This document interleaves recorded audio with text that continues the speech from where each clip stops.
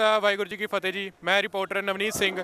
ਇਸ time Singhu border ਤੇ ਬੁਲੰਦ ਟੀਵੀ ਵੱਲੋਂ ਅਸੀਂ ਤੁਹਾਨੂੰ ਦਿਖਾਉਣਾ ਚਾਹ ਰਹੇ ਹਾਂ। ਸਿੰਘੂ ਬਾਰਡਰ ਤੇ ਇੱਕ ਨਵਾਂ ਸਟੇਜ ਲਾਇਆ ਗਿਆ ਹੈ ਜੀ। ਮੈਂ ਕੈਮਰਾਮੈਨ ਨੂੰ ਕਹਿਣਾ ਚਾਹਾਂਗਾ ਕਿ ਨਵੇਂ ਸਟੇਜ ਦੀਆਂ ਕੁਝ ਤਸਵੀਰਾਂ ਸਾਡੇ ਦਰਸ਼ਕਾਂ ਨੂੰ ਦਿਖਾਈਆਂ ਜਾਣ।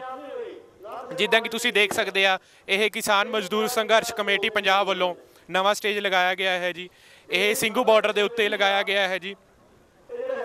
ਸਿੰਘੂ ਬਾਰਡਰ ਤੇ ਇਸ ਟਾਈਮ ਦੋ ਵੱਡੇ ਸਟੇਜ ਮੌਜੂਦ ਹਨ ਜੀ। ਤੁਸੀਂ ਦੇਖ ਸਕਦੇ ਇੱਥੇ ਸੰਗਤ ਬਹੁਤ ਹੀ ਵੱਡੀ ਤਾਦਾਦ ਦੇ ਵਿੱਚ ਇੱਥੇ ਇਕੱਠਤਾ ਜੀ।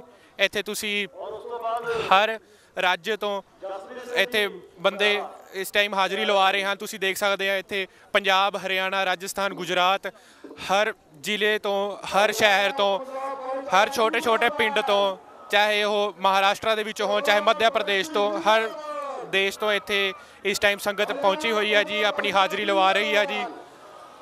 ਤੁਸੀਂ ਦੇਖ ਸਕਦੇ ਆ ਮੈਂ ਕੈਮਰਾਮੈਨ ਨੂੰ ਦਿਖਾਣਾ ਚਾਹਾਂਗਾ ਸਟੇਜ ਦੇ ਸਾਹਮਣੇ ਇੱਥੇ ਰਹਿਣ ਦਾ ਪ੍ਰਬੰਧ ਵੀ ਕੀਤਾ ਗਿਆ ਹੈ ਜੀ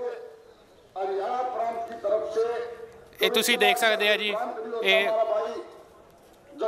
ਇੱਥੇ ਰਹਿਣ ਦਾ ਪ੍ਰਬੰਧ ਵੀ ਬਣਾਇਆ ਗਿਆ ਹੈ ਜੀ बहुत खिलाड़ी रहे हैं हमें संजय पहलवान हमारे गुरु रहे हैं ਇਹ ਨਵੀਂ ਸਟੇਜ ਜੋ ਸਿੰਘੂ ਬਾਰਡਰ ਤੇ ਬਣਾਈ गई है से यह आपको आश्वासन दिलाने आया हूँ कि भाई क्योंकि भारत सरकार ਨਵੀਂ ने ਸਟੇਜ ਤੇ ਤੁਸੀਂ ਦੇਖ ਸਕਦੇ ਆ, ਇੱਥੇ ਹਰਿਆਣੇ ਦੀਆਂ ਜਿਹੜੀਆਂ ਗਰੁੱਪਸ ਨੇ ਜਾਂ ਕਮੇਟੀਆਂ ਨੇ, ਜ਼ਿਆਦਾਤਰ ਇੱਥੇ ਇਹ ਸਟੇਜ ਹਰਿਆਣਾ ਦੇ ਵੱਲੋਂ ਲਗਾਇਆ ਗਿਆ।